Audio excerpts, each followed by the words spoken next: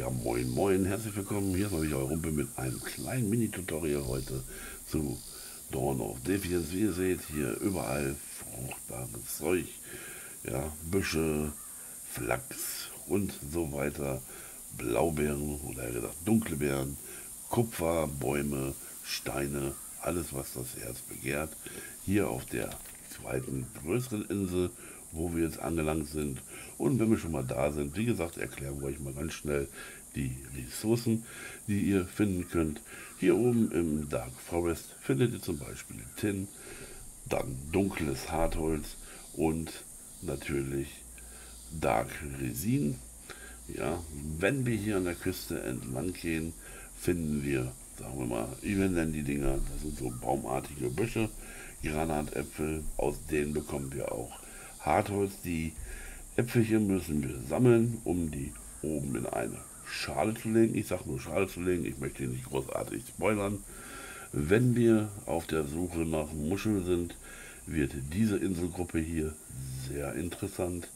Baut euch hier einfach mal einen Weg rüber oder wenn ihr genug ja, schweben könnt, Stammjagd, dann könnt ihr auch darüber fliegen und lauft einfach mal den ganzen Weg ab.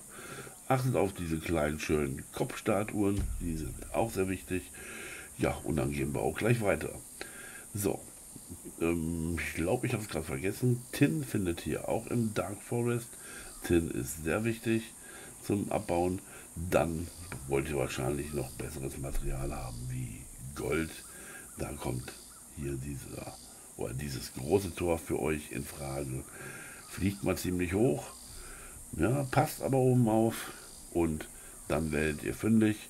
Ja, genau an der Grenze oben. Schaut einfach mal ein bisschen genauer hin und ihr werdet dort Gold finden, vor allem an den Toren. Ja, Schilf wird auch benötigt teilweise und Schilf findet ihr, wenn ihr hier den Kanal oder den Flusslauf folgt. Da findet ihr an den Seiten Schilf. Ja, wie geht's weiter? Unten in der Wüste angekommen, bekommt ihr ganz einfach Silber, ja. Und wie war es nochmal? Silber und Clay, genau, Moor. Genau, Moor findet ihr aber auch hier vorne am kleinen See. Ja, oder auch hier in der Wüste. Lasst euch überraschen, passt aber auf, die Wüste ist sehr gefährlich und tückisch. Ja, die anderen Sachen, ja, wie ihr sie kennt, findet ihr in den ganzen anderen Bereichen hier, wie Flak zum Beispiel, die Blaubeeren, nenne ich es erstmal, die roten Beeren, die äh, Sachen zum Beispiel wie Kotten findet ihr hier zwischen teilweise zwischen den Bergen, aber auch woanders auf den Inseln. Ja, das war's auch schon. Wir haben fast alles erklärt. Ich sag mal, das sollte erstmal reichen. Da habt ihr reichlich zu tun. Und ja, wie gesagt, passt auf. Manche Sachen oder Ecken sind hier sehr tückisch. Achtet überall mal auf die kleinen Köpfe, auf die kleinen Altare, die ihr bestücken könnt. Und ja, sonst ja, fällt mir gerade jetzt nichts ein. Aber ich glaube, das sollte auch selber fürs Erste schon mal reichen.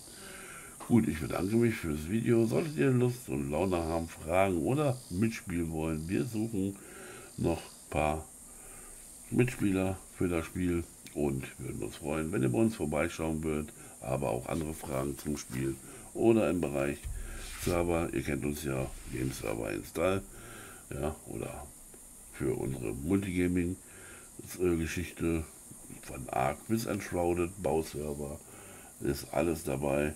Und ja, wir würden uns freuen, wenn ihr einfach mal vorbeischaut. Ich bedanke mich dass ihr das kleine Mini-Video geschaut habt. Ich hoffe, ich konnte euch kurz helfen, kleine Tipps geben. Lieb Gruß, euer Rumpel. Ciao, ciao. Bye, bye.